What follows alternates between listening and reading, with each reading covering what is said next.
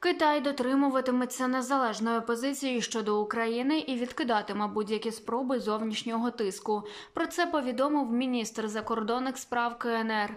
За його словами, під час перемовин з президентом США Джо Байденом лідер Китаю Сі Цзіньпін чітко висловив позицію, що Китай завжди був силою підтримки миру в усьому світі і послідовно виступав за підтримку миру та протистояння війні. Сі Цзіньпінь також заявив, що всі сторони повинні спільно сприяти діалогу та переговорам між сторонами, щоб якнайшвидше припинити бойові дії, уникнути жертв серед цивільного населення та запобігти гуманітарній кризі.